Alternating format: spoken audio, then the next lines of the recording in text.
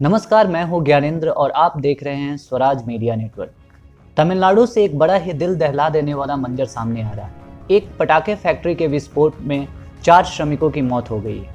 बता दें कि यह पूरा घटना तमिलनाडु के विरुद्धनगर ज़िले के नांगलपुरम गाँव की है, जहाँ कुछ श्रमिक पटाखे फैक्ट्री में काम कर रहे थे। काम करने के दौरान अचानक फैक्ट्री में विस्फोट हुआ, जिसकी वजह से मौके पर ही तीन श्रमिक की मृत्यु हो गई। और एक अन्य श्रमिक की मृत्यु अस्पताल ले जाते समय हो गई। इस विस्फोट की वजह से इमारत पूरी तरह धराशायी हो गई और वहाँ पे मौजूद आठ लोग बुरी तरह से घायल हो गए। घायलों को नज़दीकी अस्पताल में भर्ती कराया गया है, जहाँ उनका इलाज जारी है। बताया यह जा रहा है कि पटाखा निर्माण इकाई में श्रमिकों के काम पर आने के तुरंत बाद ही दुर्घटना हुई। यह अभी तक पता नहीं चल पाया है कि विस्फोट और उसके बाद आग लगने की घटना किस लापरवाही की वजह से हुई। पुलिस ने प्रारंभिक जाँच का हवाला देते हुए कहा है कि मौके पर मौजूद एक व्यक्ति द्वारा फैक्ट्री की केमिकल स्टोर का दरवाज़ा खोलते ही विस्फोट हो गया इसके अलावा कोलकाता से भी एक बड़ी घटना सामने आ रही है, जहाँ एक केमिकल फैक्ट्री में भीषण आग लग गई।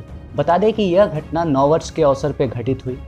यह घटना कोलकाता के दमदम एयरपोर्ट के कैखाली इलाके का है, जहाँ एक केमिकल फैक्ट्री में इतनी भीषण आग लग गई, जिसके बाद कड़ी मशक्कत के बाद आग पर काबू पाया जा सका। बता दें कि यह घटना 11 बजे की है। बताया यह जा रहा है कि जब केमिकल फैक्ट्री में आग लगी, उस समय केमिकल फैक्ट्री में पेंट थीनर और कुछ ज्वलनशील पदार्थ रखे हुए थे, जिसके कारण आग काफ़ी तेज़ी से फैल गया। इस हादसे में कन्हाई कुमार संतारा नामक एक व्यक्ति की मृत्यु हो गई, जिसकी उम्र बावन वर्ष बताई जा रही है। आग लगने की वजह से इस फैक्ट्री का एक बड़ा हिस्सा जलकर राख हो गया और आसपास के कारखानों को भी भारी नुकसान पहुँचा।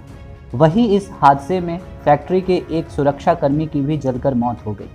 जिस तरह हम आए दिन देख रहे हैं, इस तरह के हज़ारों हादसे हो रहे हैं। एक छोटी सी लापरवाही एक बड़ी रूप ले लेती है। इस संदर्भ में आपके क्या विचार हैं? हमें कमेंट बॉक्स में ज़रूर बताएँ। वीडियो को ज़्यादा से ज़्यादा लाइक करें शेयर करें, साथ ही चैनल को सब्सक्राइब करें।